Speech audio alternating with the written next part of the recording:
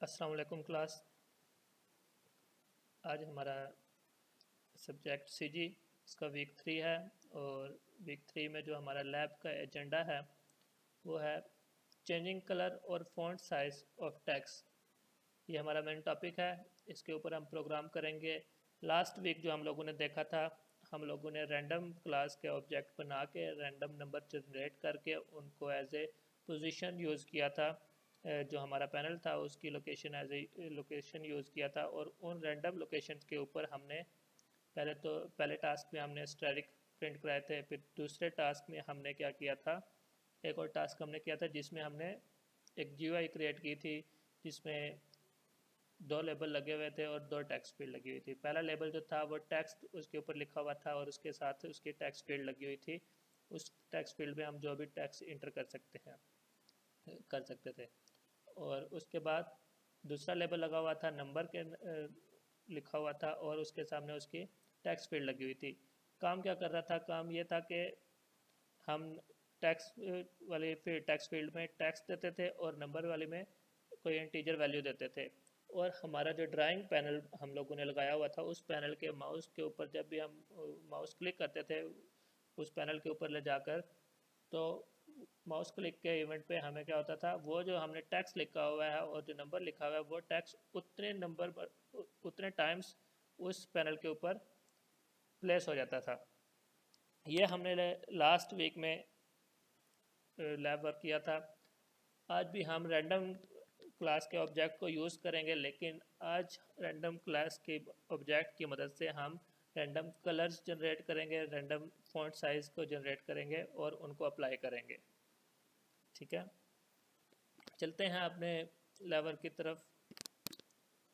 सबसे पहले तो हम प्रोजेक्ट क्रिएट करते हैं जावा प्रोजेक्ट क्रिएट करते हैं। हमारा वीक थ्री है।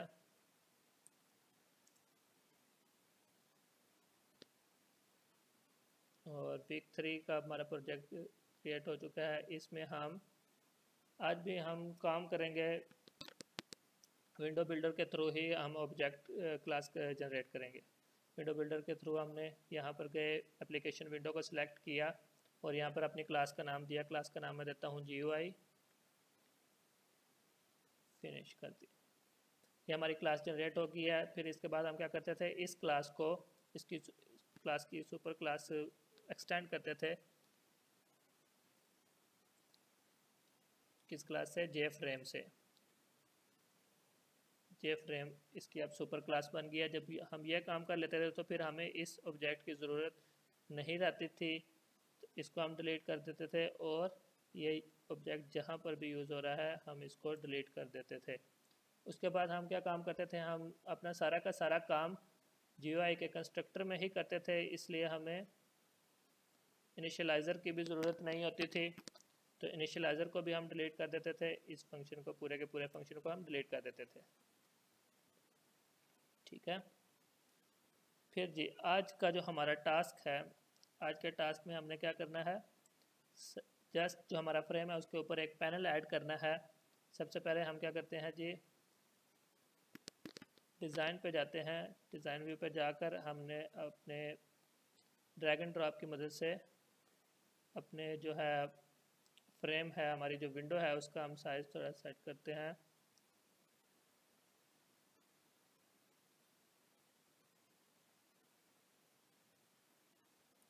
Five hundred by four hundred मैंने इसका साइज़ सेट कर लिया।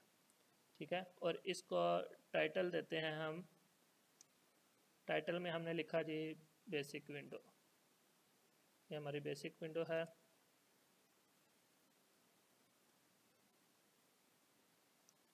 बेसिक विंडो देन फिर हमने क्या किया जी?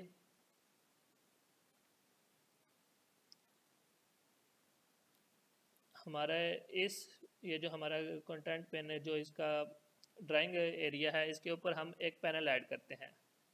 हमने पैनल सेंटर में ऐड किया तो ये पूरे के पूरे इसके ऊपर अप्लाई हो जाएगा। तो इस पैनल का हम लेआउट चेंज करते थे। एब्सोल्यूट लेआउट कर दिया। पैनल का नाम हम चेंज कर लेते थे ड्राइंग पैनल कर लेते हैं।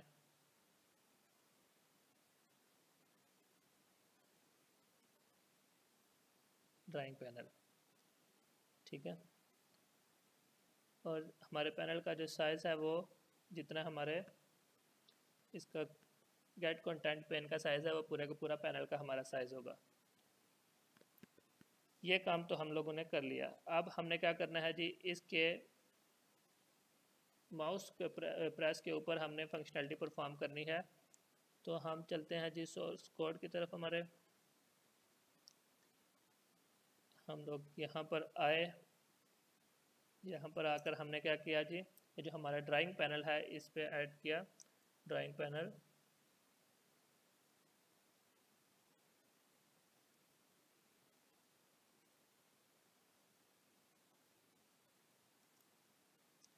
dot add mouse listener mouse listener को ऐड किया और यहाँ पर हम कहते थे न्यू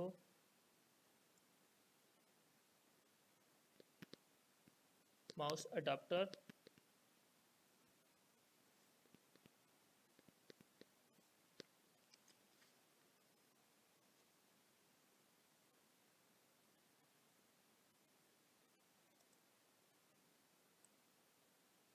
यहाँ पर हमने ऐड किया न्यू माउस लिसनर का एनोनिमस फ़ंक्शन बनाया और ये हमारे पास आ गया माउस रिलीज्ड ये कुछ फ़ंक्शन हमारे पास आ गए हैं माउस प्रेस्ट का, जो हमारे, हम लोगों ने ओवर करने होते हैं। तो हम माउस प्रेस्ट का कोड लिखते हैं।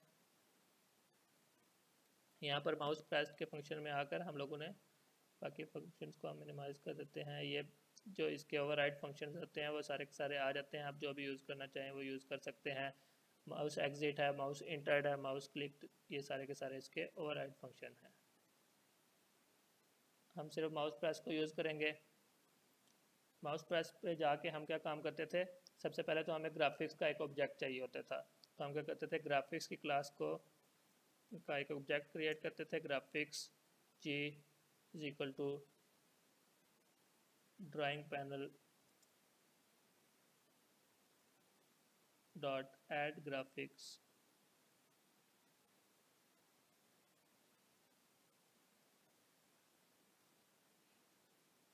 Drawing panel sorry drawing panel dot get graphics करते थे, इस पैनल के ग्राफिक्स को गेट करते थे हम। ये काम करते थे। ठीक है? इसके बाद अब हमारी आती है जी मेन लॉजिक मेन लॉजिक हमारी होती थी, उसके लिए हम एक फ़ंक्शन लास्ट वीक भी हम लोगों ने बनाया था। अब फिर हमें एक फ़ंक्शन की ज़रूरत पड़ेगी जिसमें हम रैंडमली नंबर्स जनरेट करेंगे और उन नंबर्स की मदद से कलर्स को भी सेट करेंगे और फॉन्ट भी सेट करेंगे। हमारा जो टेक्स्ट होगा, उसके कलर भी सेट करेंगे और फॉन्ट भी सेट करेंगे। तो एक और काम हम लोग करते थे, वो ये कि हमारा पैनल क्योंकि यहाँ पर बना होता था तो इसको हम यहाँ से ख़त्म करते थे। और इसको क्रिएट यहाँ पर ऑब्जेक्ट जो है, जे पैनल का ऑब्जेक्ट स्टार्ट में क्रिएट करते थे, ताकि जब हम फ़ंक्शन में इसको यूज़ करें तो हमें एक्सेस हो।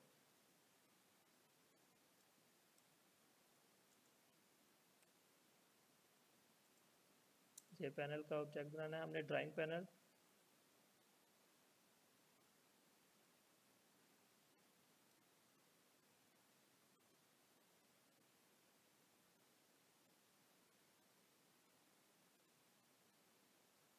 और इसको हम प्राइवेट करते होते थे, ठीक है?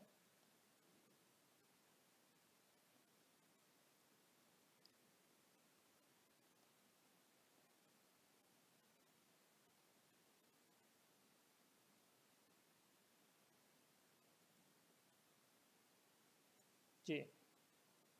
अब हम यहाँ पर अपना फ़ंक्शन लिखते हैं। फ़ंक्शन बनाते हैं सबसे पहले पब्लिक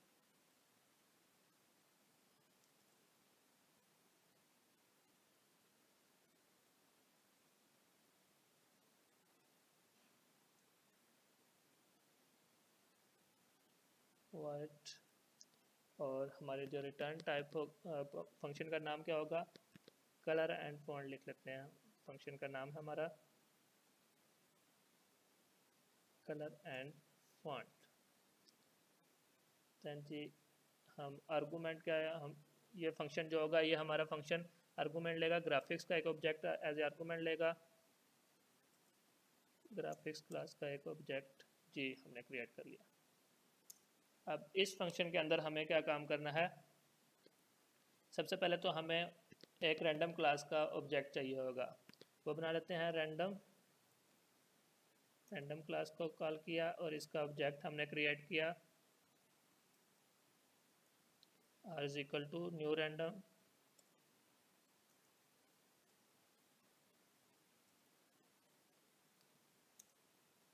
ठीक है? ये रैंडम क्लास का हमने ऑब्जेक्ट बना लिया।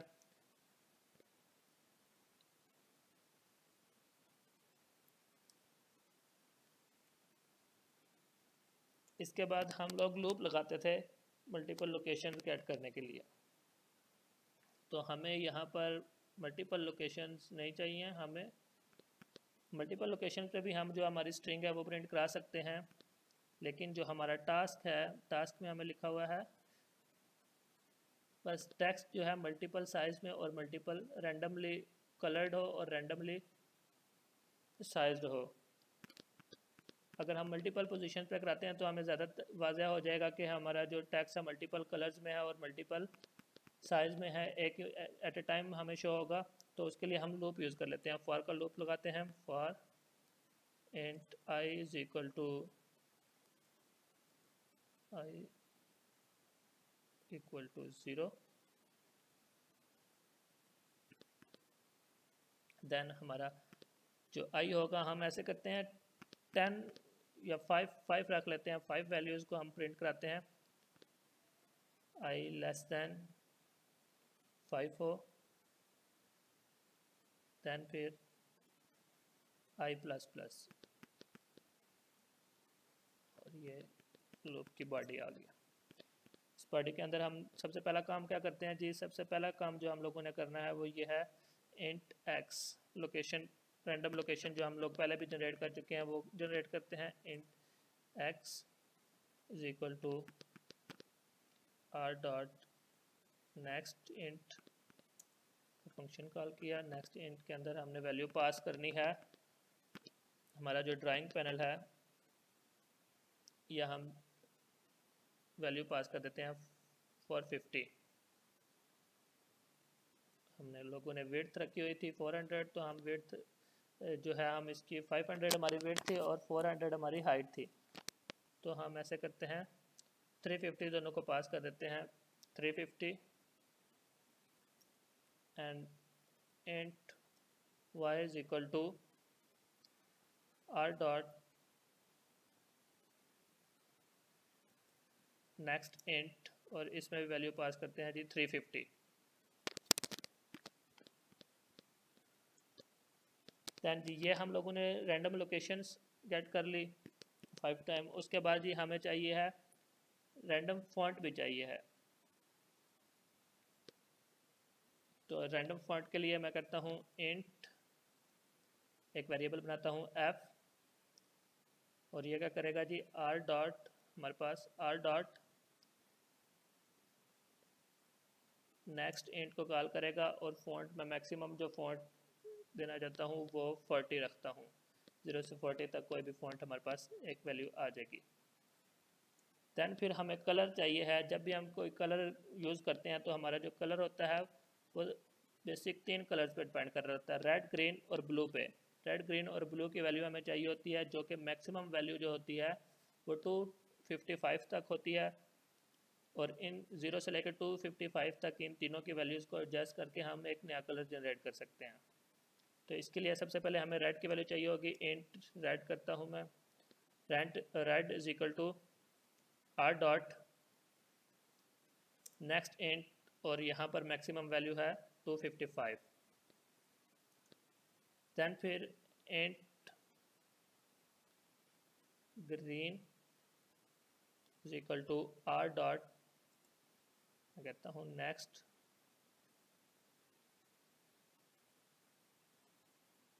नेक्स्ट इंट और यहाँ पर भी एज आर्गूमेंट 255 ये मैक्सिमम वैल्यू होती है। देन फिर एंट ब्लू इन तीनों के कॉम्बिनेशन से हम हमारे सारे के सारे कलर जनरेट हो जाते हैं। तो इसलिए हम रेड ब्लू और ग्रीन की वैल्यू को एक्सेस करते हैं। आर डॉट नेक्स्ट इंट और यहाँ पर भी मैक्सिमम वैल्यू 255 अब हमारे पास वैल्यूज़ तो आ गई हैं, लेकिन हमें क्योंकि जब भी ग्राफिक्स का जो हमारा ऑब्जेक्ट है, उसका कलर सेट करना होता है तो हमें कलर क्लास का एक कलर क्लास का ऑब्जेक्ट चाहिए होता है। तो हम कलर क्लास का ऑब्जेक्ट क्रिएट कर लेते हैं। कलर हमारी कलर की क्लास है जावा ए डब्ल्यू टी की कलर क्लास का हमने एक ऑब्जेक्ट क्रिएट किया सी एल आर कलर नाम से देता हूँ मैं। C L R is equal to new new colour और यहाँ पर हम देखेंगे, हमारे पास इंट आर जी बी आ रहा है। जो हमारे पास इंट ये वाला जो फ़ंक्शन है इंट आर ले रहा है इंट जी ले रहा है इंट बी ले रहा है। रेड ग्रीन और ब्लू की वैल्यूज़ को ले रहा है और एक कलर जनरेट करके हमें ये देगा और वो कलर हम कलर के ऑब्जेक्ट को पास करेंगे। इस कंस्ट्रक्टर को हम इसके कॉल करेंगे तो ये हमारे पास रेड की जगह पे हम वैल्यू पास करेंगे रेड और ग्रीन में ग्रीन और ब्लू पे जो हमारा ब्लू रैंडम जनरेट हुआ हुआ है। दैन फिर अब हमने कलर तो जनरेट कर लिया। हमें फ़ॉन्ट क्योंकि जो हमारा ग्राफिक्स क्लास है, उसका अगर हमने फ़ॉन्ट सेट करना हो तो वो फ़ॉन्ट क्लास का एक ऑब्जेक्ट लेती है। ठीक है? तो इसलिए फिर हमें फ़ॉन्ट क्लास का भी एक ऑब्जेक्ट बनाना पड़ेगा। फ़ॉन्ट जावा की एक ए डब्ल्यू टी क्लास है। F N T is equal to new font और ये जो न्यू फॉन्ट है, इसमें हम अब ये लोग ये देखें, जो सेकंड नंबर पर है स्ट्रिंग ले रहा है नेम इंट स्टाइल और इंट साइज़ ठीक है? तो इसको हम सिलेक्ट करते हैं स्ट्रिंग नेम में हम नल पास कर देते हैं, या अगर आप कोई भी सिलेक्ट करना चाहते हैं स्ट्रिंग नेम में सिलेक्ट कर सकते हैं। फ़िलहाल मैं नल पास करता हूँ और स्टाइल में हमारे पास जो है, हम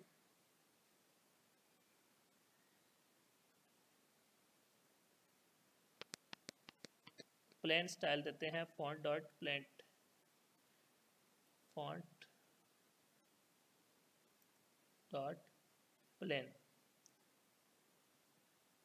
font dot plain style मैंने दे दिया और जो हमने साइज़ देना है, क्योंकि हमने साइज़ पे काम करना था तो साइज़ जो हमने रैंडमली नंबर जनरेट किया है, वो हमने साइज़ देना है, जो हमारा मैक्सिमम नंबर जो फोर्टी तक था।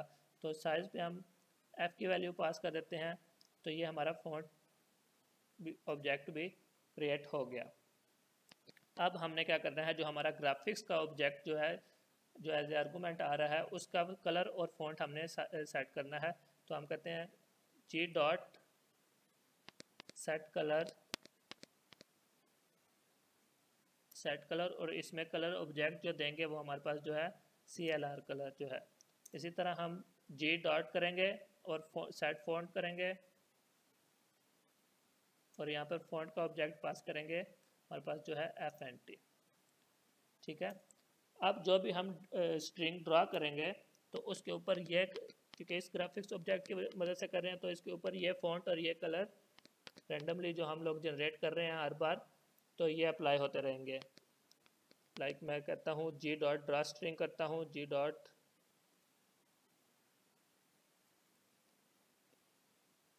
ड्रा स्ट्रिंग और इसमें मैं स्ट्रिंग पास करता हूँ ग्राफिक्स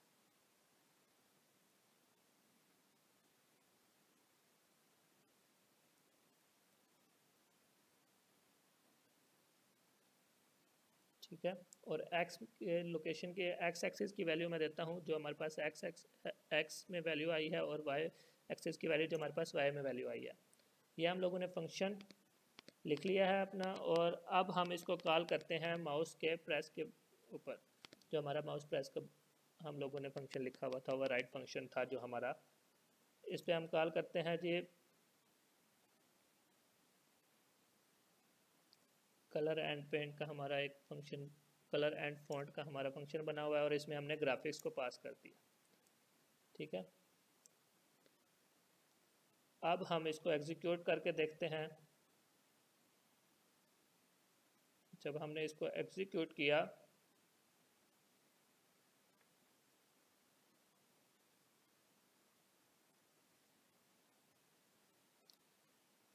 जी, ये देखें जी। ये हमारे पास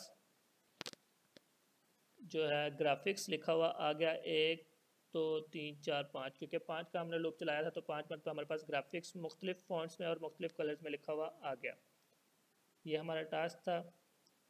इसमें थोड़ी सी चेंजिंग हम कर लेते हैं क्योंकि हमारे पास जो स्क्रीन का हमने फ्रेम का हमारे साइज़ सेट नहीं किया हुआ, इसलिए स्टार्ट में वो हमें शो नहीं हो रहा था। जब हम उसको मैक्सिमाइज़ करते हैं, तब हमें वो शो होता है। तो हम जाते हैं जी हमारे कंस्ट्रक्टर में। यहाँ पर, यहाँ पे हम करते हैं सेट साइज़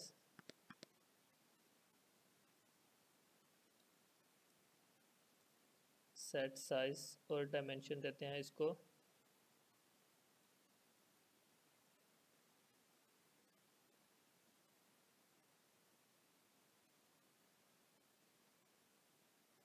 Five hundred